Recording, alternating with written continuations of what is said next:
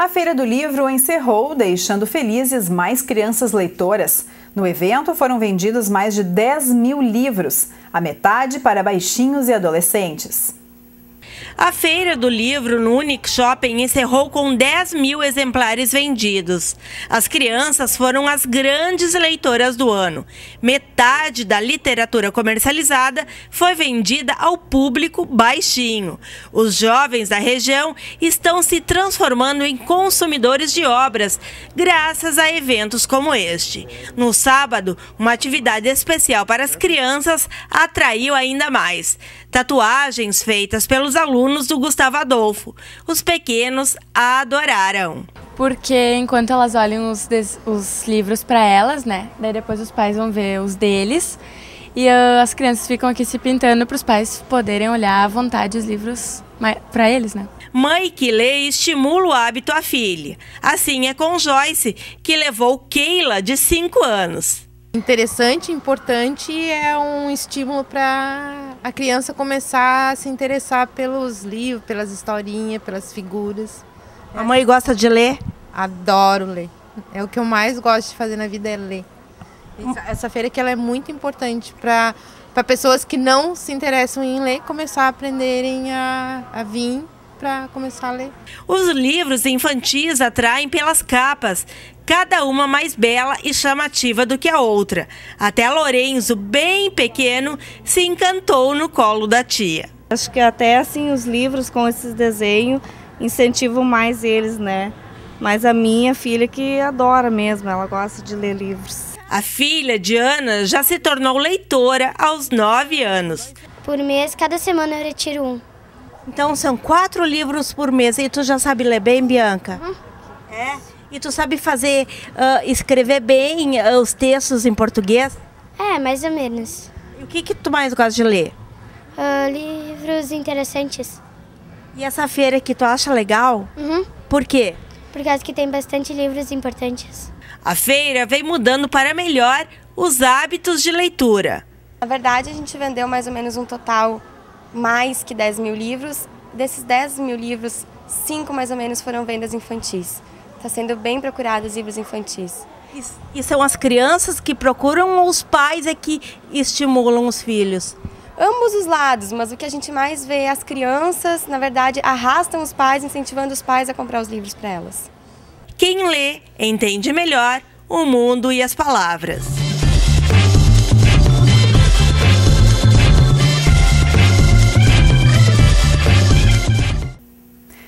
Agora, Rodrigo Nascimento vem aí com a agenda. Olá, Rita! Hoje é segunda-feira, a gente começa a semana com aquela chuvinha típica de inverno, mas sempre na companhia de você aí de casa. Então fique esperto, pois lá vão as dicas da nossa agenda de hoje. Nesta quarta-feira tem espetáculo de humor no Colégio Castelo Branco, Castelinho aqui de Lajeado.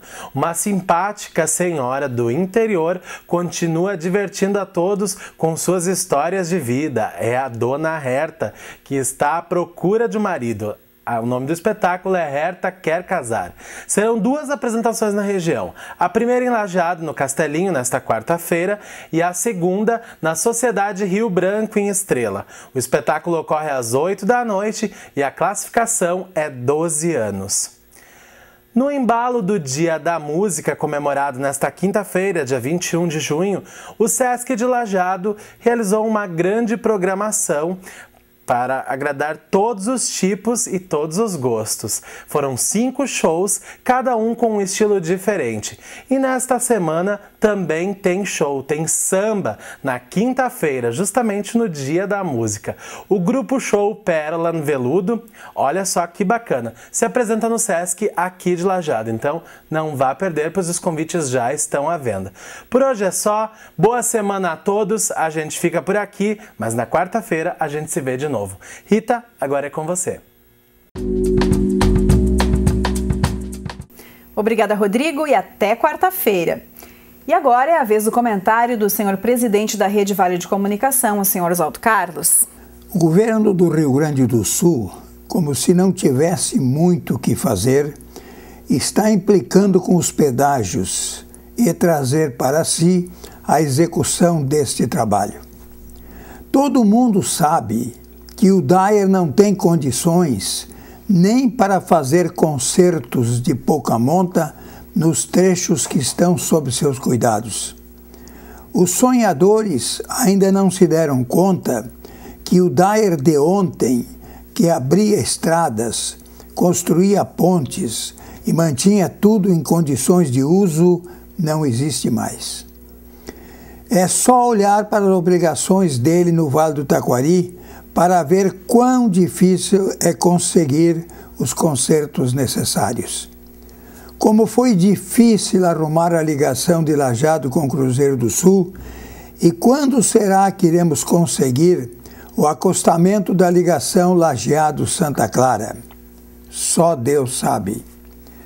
Por outro lado, a tormenta na viagem de Lajeado até Pouso Novo pela 386, passando por Marques de Souza, recebeu um tratamento que permite o seu uso com bastante segurança, graças às duplicações feitas pela concessionária.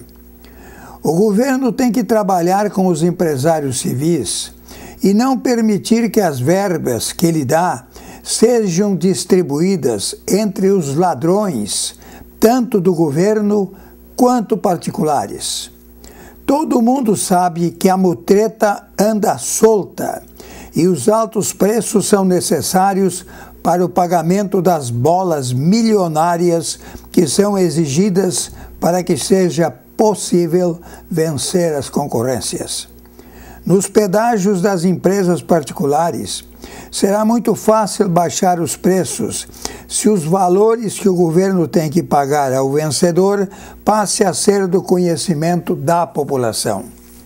Governantes ladrões do dinheiro público que se cuidem, porque se tudo der certo e os que estão sendo julgados agora forem para a cadeia, os que ainda estão fora passarão a pensar duas vezes antes de embolsar o que pertence ao povo trabalhador e honesto. Obrigado pela atenção. Até a próxima semana, neste mesmo dia e neste mesmo horário. É contigo, Rita. Muito obrigada e até a próxima segunda. O Informativo Notícias fica por aqui. Até amanhã.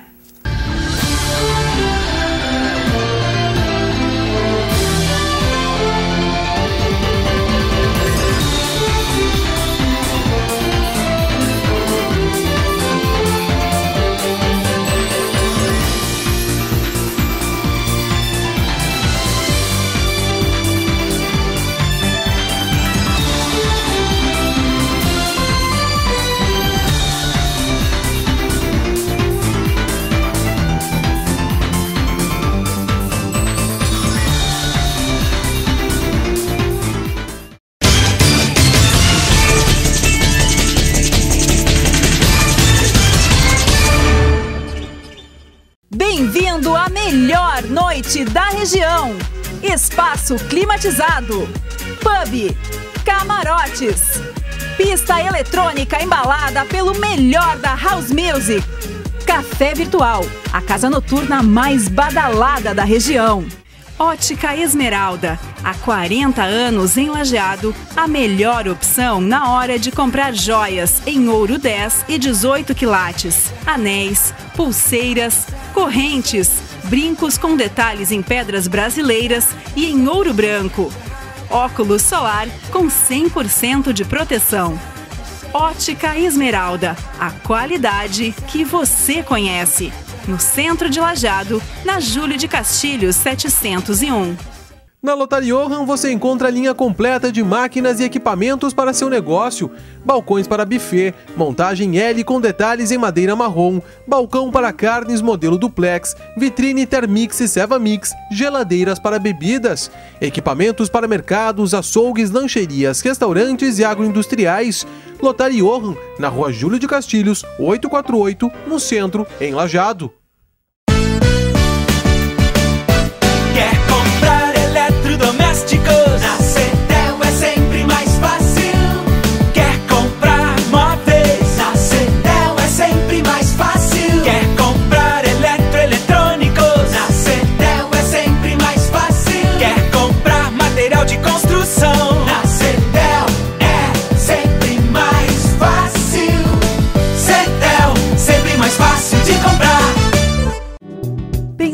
Abrir um negócio?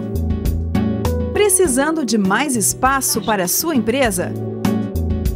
Acesse o site da Renner Imóveis e escolha o imóvel mais apropriado para a sua necessidade. Precisa-se. Precisa-se de bons profissionais e de bons cidadãos. Precisa-se de ética, mas também de conhecimento e técnica. Precisa-se de sustentabilidade, de felicidade. Precisa-se de liderança, de motivação. Precisa-se de paixão. Senac Educação para o Trabalho e para a Vida.